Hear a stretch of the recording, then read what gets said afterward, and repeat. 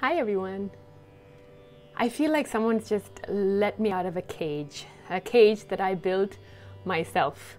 Uh, since I've come here to the mountains, um, whenever I practiced music, I was very conscious of not disturbing anyone, neighbors or people living in this building. So I would keep the windows closed and I wouldn't sing too loudly unless I knew there was nobody around. And today, one, the, the person that's staying in the room right next to me, I asked him, Did you hear me singing uh, early in the morning once? And he said, When? Today? I said, No, no, no, like two days ago in the morning. And he said, um, I think I heard you maybe very softly uh, once, uh, but you know, you sing more with power.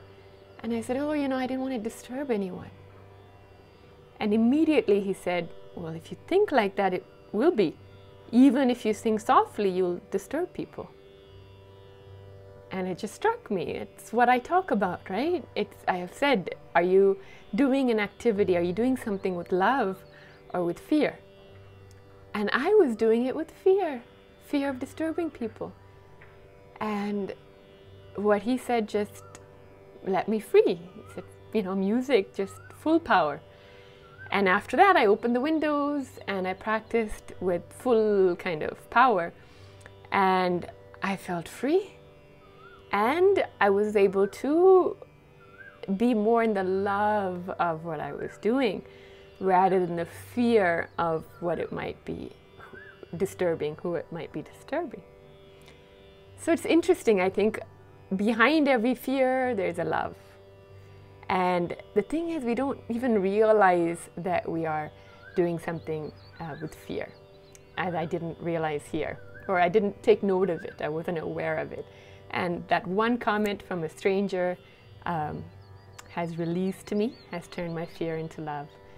So, sharing that because I think um, it's nice to go through the day, maybe at the end of the day, and see, you know, was that with love or fear, love or fear, and see how we can turn it. So, big gratitude to that uh, neighbor, friend, stranger uh, that helped me and um, inspired me. Let's all take a deep breath together and live today fully in love and let go of the fear. Inhale in the love, exhale out the fear. Inhale, take a deep breath and filling the whole body, abdomen and chest.